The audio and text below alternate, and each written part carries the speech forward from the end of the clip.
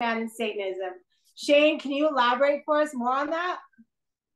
Well, I'd like to think of myself as controversial at times, but the, you know that's just uh, the way it goes when you're when you're a prophet. When you're when you hold all the keys, people want the keys. They want to climb Mount Bugbee, and so they're never going to be able to.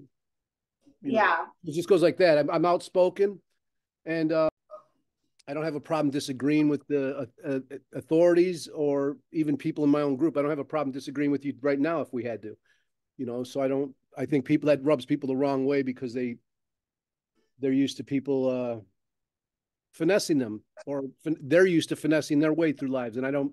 I don't play that too much. I'm a Chicagoan. I speak sh- the language of Chicago, and and we don't bullshit. That's how it goes. Out the West Coast, you're passive.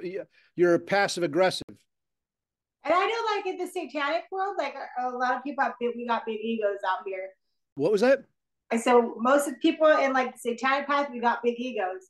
Yeah, that's true. That that is that, got, got something to say. That is true. That is true.